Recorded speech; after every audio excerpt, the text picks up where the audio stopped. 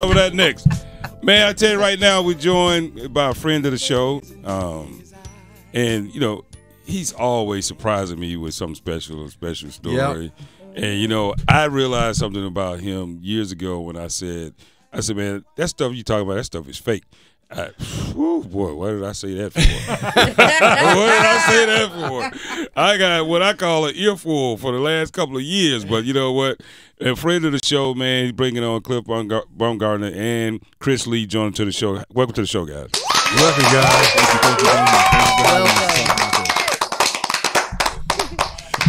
Outstanding. So, so you guys are here to talk about a documentary that that um, has been released and, and that we're going to all get a chance to take part in.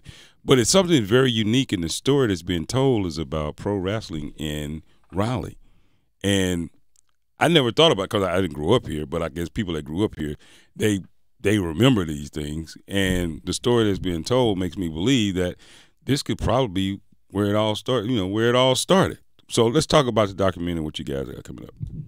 Yeah, so we have a documentary coming out on PBS uh, North Carolina next Thursday uh, at ten o'clock called "When Giants Walked Here," um, and it's uh, it's it's it's going to be exciting. Basically, the story of wrestling at Dorton Arena in Raleigh. And so, uh, Cliff uh, used to work at WRAL. He hit me up uh, like three years ago, tell me about this idea, and uh, we've been working on it since. And, and now next week we finally get a chance to share it with the world. Yeah, man, we're really excited about it. It's it's it's really cool to have PBS on board because it's not just a wrestling story. It's it's a North Carolina story and a North Carolina sports story, North Carolina culture story, and PBS has been a great partner in making all that possible. Well, I uh, want to chime in and say that I can talk about it because I lived here, from here, from the area, and so we're about forty-five minutes from Raleigh, and we would drive here. My aunt was a crazy, crazy avid wrestling fan, and we say wrestling. Yeah, wrestling. how- what's the correct way to say it? You can say Wrestling. wrestling. Yeah, You can say wrestling's wrestling. right. And I love. I was telling Yeah. uh, Reese. I said it even had in there, you know, wrestling the way that we say it, Yeah. and get corrected. Uh, but that's the uh, Hulk Hogan, Rick, Ric Flair, Dusty Rhodes, The Rock. Those are all of were our favorites, and we could see them at the Dorton Arena. Quite a few, yeah. I think Hulk Hogan and The Rock probably missed out on on Dorton because uh, for a lot of people, this was the Southern Territory. This was the Mid Atlantic Territory. So that's where you get your Ric Flairs and Dusty Rhodes, Roddy Piper, uh, Wahoo McDaniel for people of a certain era. So Yes, yeah, it was yeah. it was really the Southern crew more so than the the Northern WWE crew. But would- you could either come here or they would be in Greensboro. Yep. So we saw Yeah. them Yep. there, and you would see a set here.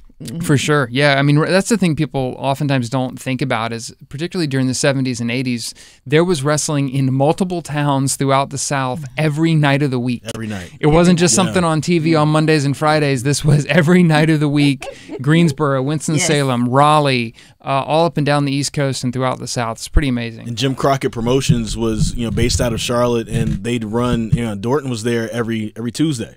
You Oh, know, so every Tuesday they had it had sellouts. You know, five thousand people in there uh, with uh, with wrestling. So this is something that was huge in in this community, and and you know one of the basically the only major stop for the eastern part of North Carolina for Jim Wow. Crockett Promotions. Oh man, I just remember the American Dream. That's my guy. Oh, Dusty Yes, Rhodes. sir. That, that's my dude. He's come on TV talking about you know his mama beat him up. That's why he's American. I don't know. He's talking about some crazy stuff. I don't know what he's talking about, but anyway, it was crazy. But Chris, you, you have a little, little background in, in wrestling or wrestling, whichever way you want to say it. Yeah. uh, to, to talk a little, little bit about that, if you will. Yeah, I think that's part of why Cliff uh, hit me up uh, at first uh, about this. Um, I used to be a pro wrestler, um, and That blows my mind when I hear that. yeah, so it, it kind of happened where um, you know I, I started off in radio early on at 102 Jams in Greensboro, and um, you know I had a full time job. I was a morning show producer. Got laid off in 2009, hired back as a part timer. And so I was just trying to find my way. So eventually I was like, let me just do everything I've always wanted to do. And um, the only thing I hadn't really gone after yet was was wrestling. And so uh, when I was wrestling, I was uh, on television at WXII in Winston-Salem. I was working at 102 Jams, and I was a pro wrestler at the same time. So it was like, whatever's going to work, something's going to work out of this. And so uh, I did that for about four years, and um, you know, television ended up being the way. Uh, but it was uh, the best four years of my life. I keep telling people like wrestling, becoming a pro wrestler, was the best decision I could make for my broadcast career. Because when I uh, I got some advice to put it on my resume, And when I first talked to WRAL, Rick Gall, who ended up hiring me, he he just retired back in May. We were supposed to have a 15 minute um, interview uh, on the phone. We talked for the first 15 minutes just about wrestling, and then we talked about the job. So it's really what kind of got me in the door, especially with the history of, of wrestling in Raleigh and at WRAL. Wow. Man, we're talking Chris Lea, and that talk, we're talking about you know this phenomenal documentary that's coming out, and so through this process, Chris, you've you've been through this before. I know you, I know you have Cliff, but through this process, even you, Chris, um, is there anything that you real that you kind of glean from the archives and the footage and the pictures that made you have just a, a totally different view or you know a healthy respect a totally view, different view of what it meant to this region and what it was what it was really about just talking about it was every day in in the, in the state i never would have believed that Yeah. i never believe you could have i don't think there's anything we can say that, that happens an event that happens every day. Mm-hmm. right, right now Well, that's the thing about you know wrestling being a weekly institution in communities all throughout the South, and particularly in North Carolina. You know, we all love going to shows, right? You love the circuses in town, you got to go, but who would go every single week? So, in order to make that work, wrestling had to be personal. It wasn't just uh, a, a show. It was these were people you felt like you knew, you people you felt like were fighting for you. You mentioned Dusty Rhodes. That was what made him so great. Was he was your guy.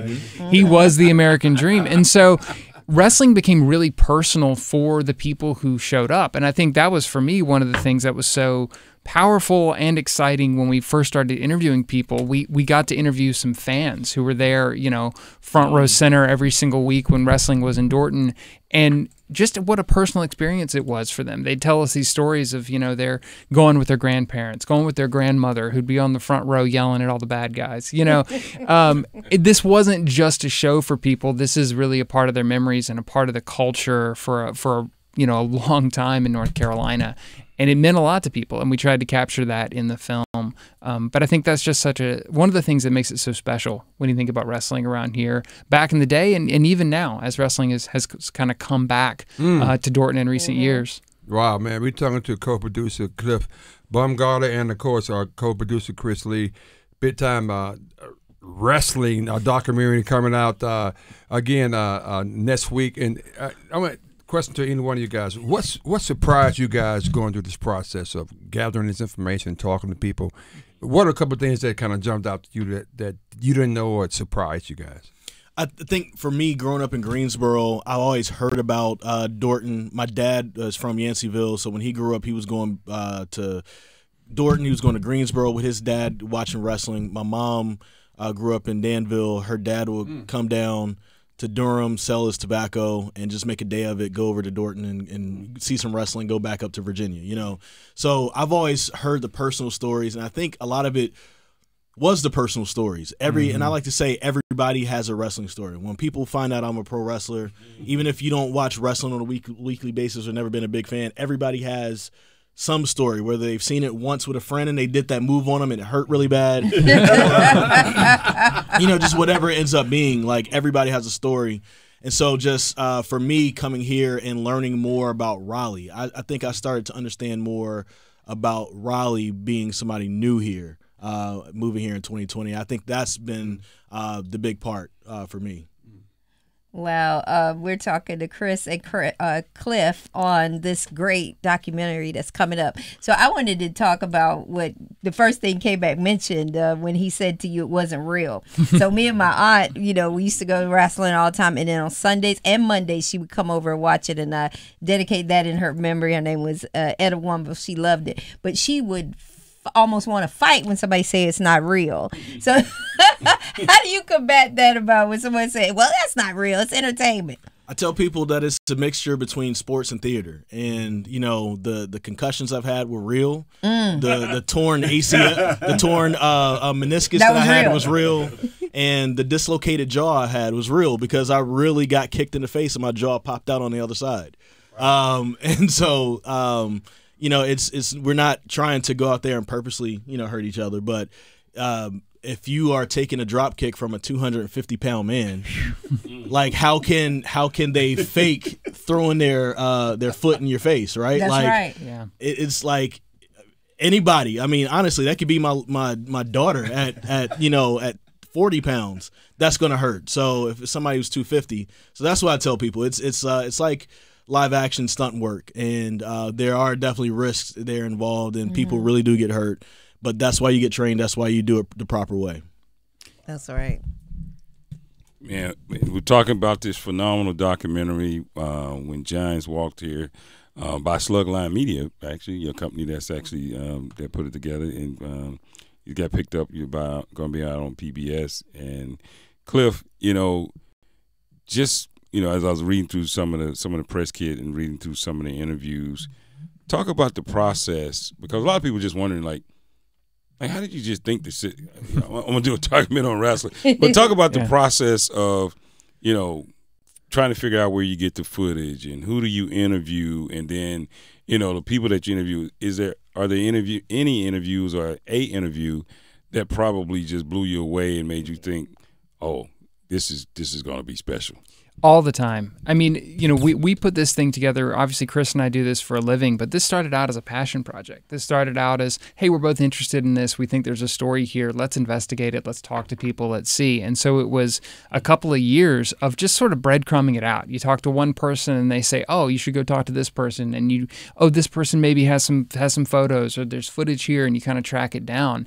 In terms of the surprises, very early on, we thought it was going to be short. We thought this thing was going to be 10 minutes. 10 minutes on YouTube. That was my pitch to Chris three years ago. three years funny. ago, that was how I got him. Um, Just need ten minutes, baby. That's all I need. and uh, It sounded good enough to me. So and and very early on, one of our first couple of interviews, we we were speaking to a guy named C.W. Anderson, who uh, wrestler from North Carolina, but has wrestled all over the all over the country, all over the world. And he started talking to us about growing up seeing shows at Dorton, and then years later, you know, 20, 30 years later, getting to go back and wrestle there himself when wrestling came back to Dorton in the 2010s. And I remember after that interview just looking at Chris and going, "Oh, this is big. This is bigger than we thought. There's more to this." And so the the story just kept expanding and to the point that, you know, now it's a it's a full feature on on PBS. But yeah, I think every interview presented some new angle, some new thing that we just had to chase down and keep finding it along the way. talking to Jimmy Valiant, the Boogie Woogie Man. Yeah, It's amazing. yes, like we, Boogie Woogie Man. we we went we went to Love Jimmy. I'm kind of excited about that. yeah, we went to his uh, his camp, his camp in Virginia, and like in the middle of nowhere. Uh, it was an interesting drive. You don't have any service out there. It's on the top of a hill. Um, you know, very interesting things that we'll talk about off mic that we saw on the way there. But, like uh, you go there and he's he's gonna about to turn 82. So when we did this, he was uh, 80, about to turn 81 and he still has all his faculties, can recall stories, and it's really great. And we actually have like a bonus at the end of the film if you stick around after the the credits that uh, he blessed us with. But um, he just his energy and everything he brought to it, and just recalling and telling the stories of him being at uh, Dorton Arena was just amazing to have there. So. Oh man, real quickly, uh, Cliff or, or either Chris, what do you want people to walk away with when, after they finish watching this uh, this documentary?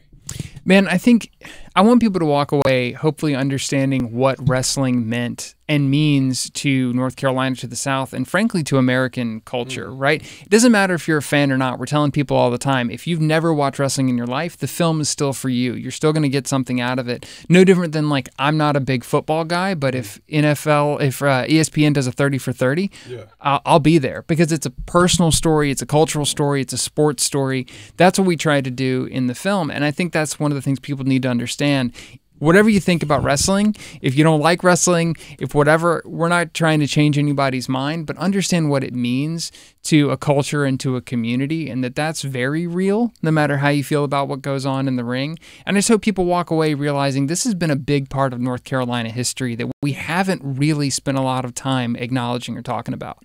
Man, outstanding. We're talking about when Giants walked here. You don't you don't want to miss this. You guys take an opportunity to tell people where they can check it out, when it's coming out, when it's going to be on PBS, and where they can get it after that.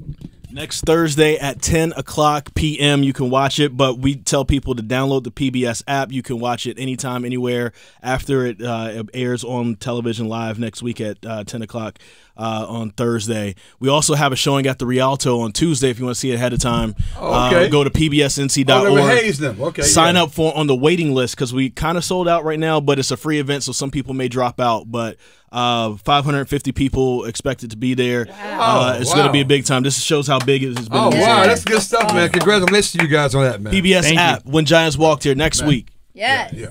Outstanding, outstanding, Yeah, man. yeah. You don't want to be. Makes me think I, I could have been arrested. I, I think I could have. can show you some food. No, that's okay. I'm, I'm past that. this is song. Here, Reed. If you love